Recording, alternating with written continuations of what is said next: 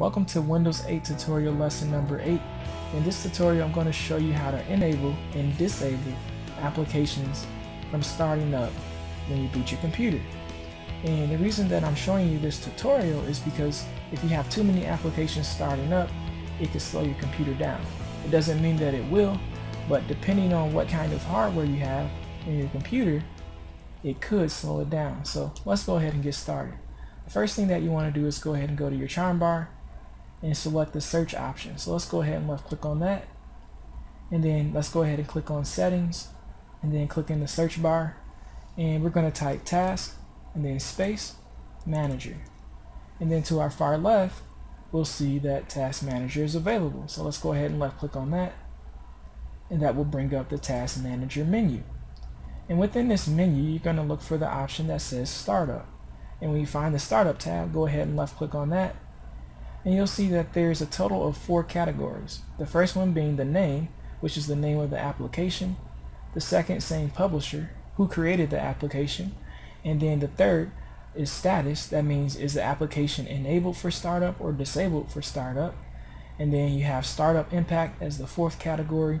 And that tells you how much impact the application has on your resources if it's started up when you first boot your computer up.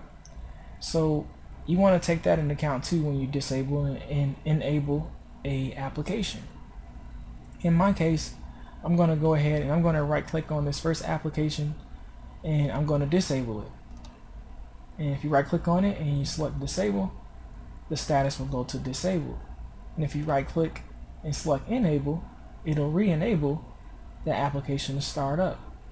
And also you could go to the bottom right hand corner of your screen and there's an option or a button there that allows you to enable and in disable applications by left clicking on the button. And if I left click on it, it will disable it. If I click it again, it will re-enable it.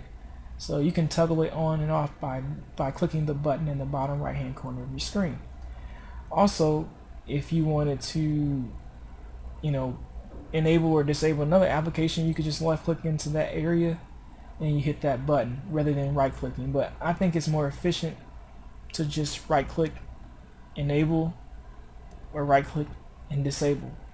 Much more efficient in my opinion, but I think you get the point of how to enable and disable applications. If you have any questions, please leave me a comment. Don't forget to embed, subscribe, comment, and I also hope that you stay tuned for future tutorials. And if you have any suggestions for Windows 8 tutorials, please leave a comment and I will take your suggestions very seriously. And if you have a suggestion that I think will benefit all of my viewers, I will make a tutorial for you. And also if it's not too difficult for me. So as long as it's not too difficult, I'll do my best to make a tutorial for you. It shouldn't be too difficult. I don't think there's too many tutorials that I can't fulfill, but if it is a tutorial that I can't, I will let you know. So have a great day.